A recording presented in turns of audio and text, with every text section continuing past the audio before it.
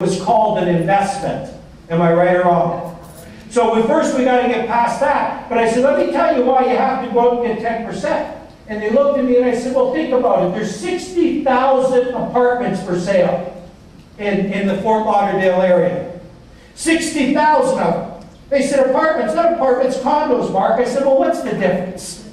Am I right or wrong? There's a two bedrooms, they got a living room, dining room, they got a water closet, they got a view of the ocean, which is black 12 hours a day.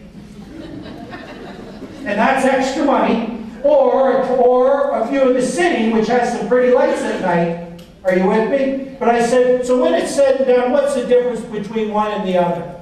I said, I'll tell you what the difference is, how much you pay the salesperson. Because the salesperson can direct those people any way they choose. More times than what? Not. So all of a sudden, they started going out taking 10% listings, and I said, you don't take one under 12 months. If they're not prepared to list 12 months with you, you turn them down. Why? Because you need time to get a return on your what? Investment. See, you're business people, gang, before you're salespeople. If you want to be successful in the real estate business, you've got to start running it as a business. So now stick with me. I'll get into more commissions in a few minutes. But I'm going to teach how to get six every time today. And I'm going to even teach some of you how to get seven if you choose to go out and try it. Nothing ventured, nothing what? Nothing ventured, nothing gained. But it all starts off in having confidence in myself, in my company, and my industry. That I believe. That I believe. Now you take that confidence that belief, and the next thing they do, the top 10%, is they create purpose in their career. Every moment of every day, they're creating purpose. And when we're talking about creating purpose, it all starts off with making sure that you put together smart goals. Smart goals. Now, a lot of people get confused with goals. They get confused with goals having it either a, um, a goal of 12 months, 2 year, 3 year, 4 year, 5 year. But the truth of the matter is, gang, those are not goals. That's called life business management planning. That said, you've got a life plan. Where do I want to be 3 years, 5 years, 10 years from now? Goals are much different. Goals should never be longer than 8 weeks. That's been proven 10 different ways to Sunday. It's better actually to take the eight week goal, break it into two four weeks, break the four weeks into weekly, break the weekly into daily. That's the best way to hit your goals, little pieces at a time.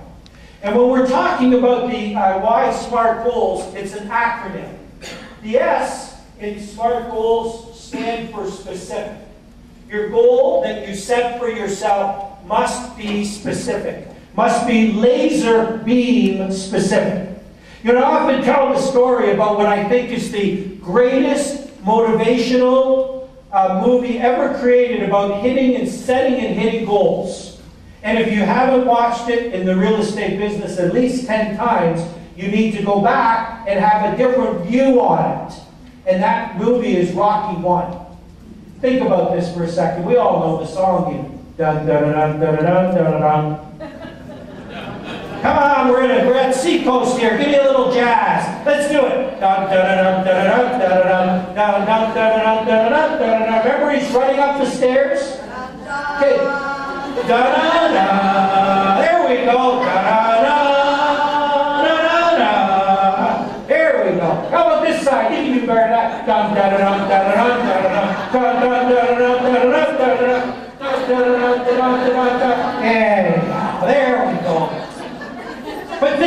These two, two, two characters. You had Apollo Creed, tall, good-looking man, kind of Sidney Poitier looking.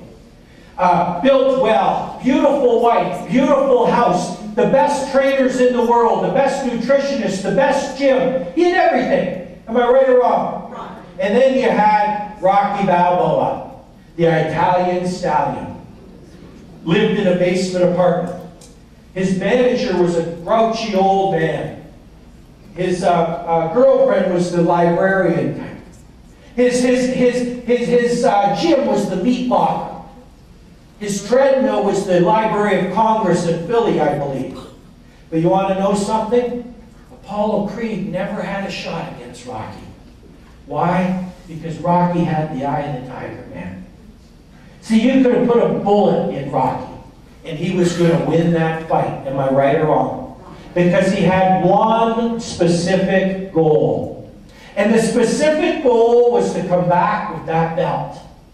Now, we can talk about how he came up with that goal or what made him take it to that point. We all have different triggering factors that drive us to success. Some of it may be that you want to be acknowledged by your community, friends or family, that I'm a successful person.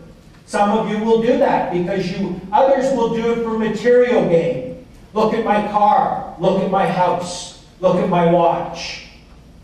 Some will do it because they come from a, a, a, a life of poverty and they want to make sure that they never live that life again. So quite often they can become, I don't know if this is the right word, but hoarders. You know, my grandmother was like that, God bless her soul. When she passed on and we went into her basement to clean out the basement, she had enough canned goods there from Campbell's, I swear to God, they could have built a factory. You with me? But grew up in the Depression, she was afraid that someday she's not going to have any food. And then you get the ones that do it for love. You know, that me of the story of Napoleon Bonaparte, the great French conqueror.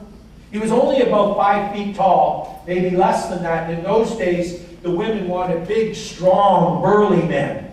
Men that were going to protect them, bring home the meat. Napoleon, though the great general he was, he fell in love with a woman by the name of Josephine.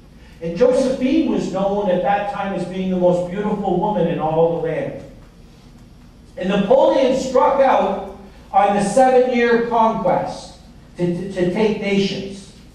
And, and, and the reason he did that was he wanted to prove to Josephine that he was worthy of her love. Do you follow me, gang? I'm not sure what your trigger point is. You've got to find your trigger point, whether it's material gain, whether it's acknowledgement from peers, whether it's because of a past life of poverty, or whether you've fallen in love and you want to prove you're worthy of your uh, companion. I'm not sure you've got to find that, but I can tell you this, is that your goal you set for yourself must be specific. That I am going to accomplish this by this time, and you can shoot a bullet in me, it don't matter. You can take it to the bank, I am going to accomplish it. And if there's one specific goal that I could have you leave with today, being in the real estate business, because I'll tell you what, gang, I, I want to make this acknowledgement to you. I'm not real good at a lot of things in my life. Don't get me wrong when I say this. 99% of my life, I should be there and you, someone could be up here. You with me? I could be taught how to eat healthier. My whole life I've struggled with weight. I Have to go to the gym three, four, five times a week. Um, um, I've got a couple of bad habits that I should get rid of. Um, but the one thing that I do know is I do know real estate sales. And I do know how to increase production in realtors. All of us are born with something if you find it. That was my gift.